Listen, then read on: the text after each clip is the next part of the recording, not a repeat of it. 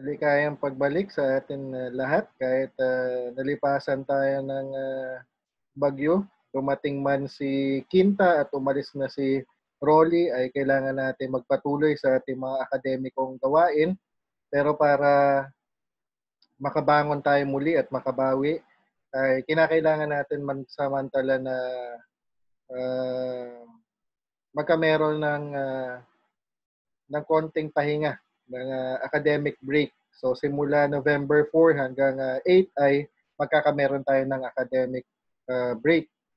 Pero gayon pa man ay may nanda ako ng mga mga gawain at aktibidad para maging uh, kapakipakinabang atin na break kahit tayo ay tutulong sa bahay para maglinis at uh, bumalik sa normal yan natin mga pamumuhay.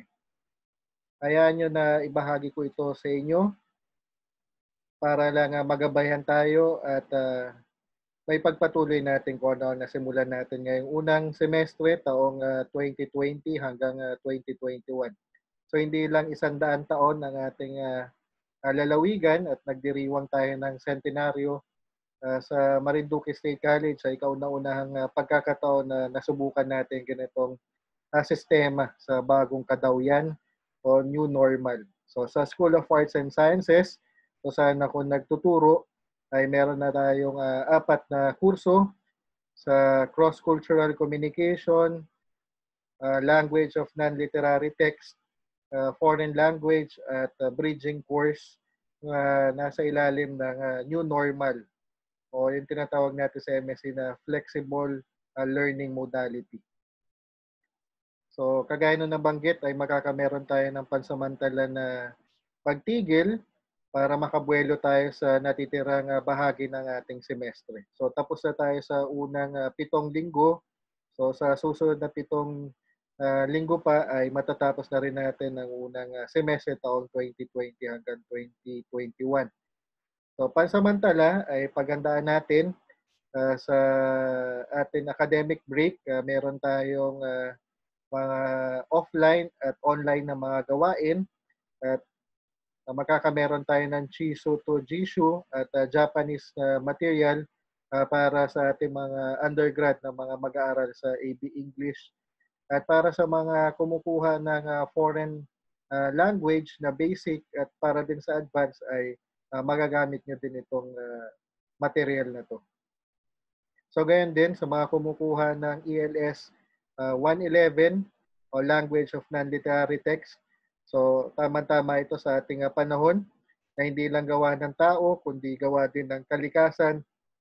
So, kailangan natin na uh, may ulat kung ano man nangyari sa ating uh, paligid at uh, maaari natin itong gawin sa pamamagitan ng podcasting.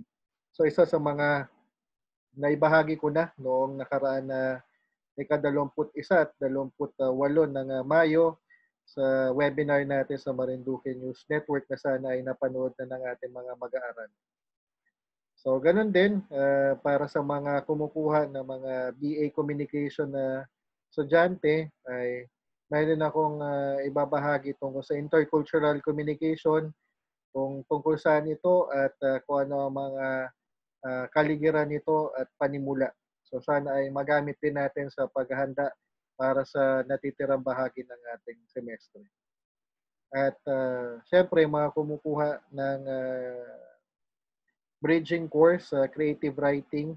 So natapos na tayo sa mga tula at uh, kwento ay uh, didiretso na tayo sa pagsusulat ng mga script. Tama-tama itong uh, manual sa pagsusulat ng script ni Ricky Lee uh, para uh, masanay tayo sa pagsusulat ng mga uh, pang-pelikula ng mga script at ganun din uh, magbibigay tayo ng input sa pagsusulat ng mga script para sa radyo at para sa television at syempre para sa entablado. Kaya kung napanood nyo na yun nating uh, mga webinar na nakaraan na uh, Setyembre, kung sana talakay sa Sine Marinduque at Tanghal Marinduque yung mga detalye tungkol sa pagsusulat nito.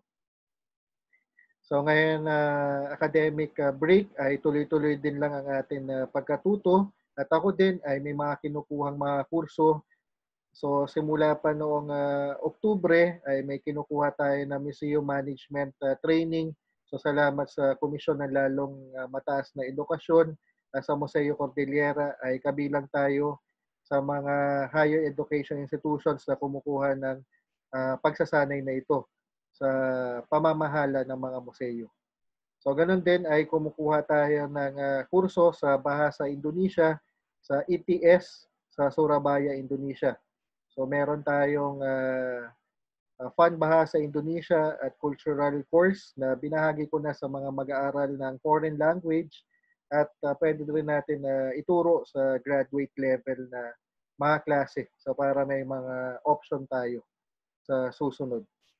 So sa darating na November uh, 7, 14, 21 at 28 ay magkakameron din tayo ng pagsasanay sa Community Museum at pagtatayo nito sa ating mga barangay, sa ating komunidad at uh, sa buong uh, buwan ng Nobyembre ay susundan natin tuwing Sabado itong mga uh, pagsasanay na to at palihan tungkol sa Community Museum. So hatid yan ng uh, NCCA at sa likaan. At uh, meron tayong uh, natapos din na research colloquium mula sa Pambansang Komisyon sa Kultura at Mga Sining. So tungkol to sa research uh, methodology para sa pag-aaral ng uh, sining at kultura. Kaya ang pamagat ng uh, buong serye ay Sali Kultura.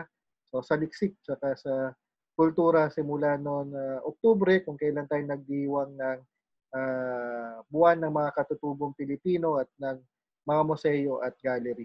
So simula noon unang uh, biyernes ng Oktubre hanggang sa huling uh, uh, biyernes ng uh, nasabing buwan ay nakuha natin ito ng mga serye ng uh, Sali Kultura. So salamat sa NCCA. So sana ay uh, masundan natin at masubaybayan yan natin mga ginagawa kahit nasa academic break tayo. Dahil uh, gagamitin natin itong panahon na to para makabuelo sa mga nalalabing mga gawain natin para sa semestre. So para sa Com Electri, uh, tatapusin natin yung video ethnography na natanggap ko na yung mga konsepto, yung mga sequence treatment at mga uh, storyboard ng inyong mga gagawing storya. So, isa sa ilalim lang natin yan sa uh, konting enhancement at uh, uh, enrichment para magawa natin yung video ethnography sa darating na buwan. At ganun din sa ELS uh, 111, uh, nabasa ko na rin yung mga pangkatan at individual na mga gawain. Uh, kailangan lang natin na uh, uh, pag-ibayuhin pa natin mga material para magawa natin yung natin mga in-depth na mga ulat at makagawa tayo ng reportage. So, para naman sa foreign language 2, so kung tayo ay nakagawa na ng pecha kucha, ng uh, practice writing sheet, tsaka ng uh, mga e-flashcards, ituloy lang natin ito sa katakana naman. So, nung nakaraan ay hiragana, ngayon ay katakana naman yung gagawin natin. So, ang naiba lang dito, yung Jisho to Chisu, sana ay makapagpasa tayo sa uh, Japanese Studies in the Philippines. So, sa darating na December 11 ay magkakameron ng deadline ang pagpapasa ng mga saliksik tungkol sa uh, pagkukumpara ng mga pag-aaral at saliksik tungkol sa uh, bansang Hapon at sa Hapones na kultura at uh, wika dito sa konteksto natin sa bansa. At panguli, para sa bridging course natin, yan natin mga sinulat na mga Diona, mga uh, Tanaga at Dalit. At syempre yung mga Dagli ay uh, iipunin natin at gagawa tayo ng antolohiya. Pero para makagawa tayo niyan ay kailangan sumailalim ng palihan o workshop at uh, isasama din natin yung natin mga isusulat na screenplay para sa pelikula mga script para sa radyo at telebisyon at syempre para sa entablado sa ating literary folio. So muli, uh, sampu ng ating mga kasama sa Marinduque State College, tayo ay uh, magpahinga at uh, bumawi ngayon academic break. Pero magtrabaho din tayo sa bahay at tumulong tayo sa uh, pagsasaayos ng ating mga uh, gamit dahil sa bagyong Kinta at Rolly baka may dumating pa sana ay uh, wala na. So para sa mga mag-aral natin sa School of Arts and Sciences at ganun din sa School of uh, Graduate Education at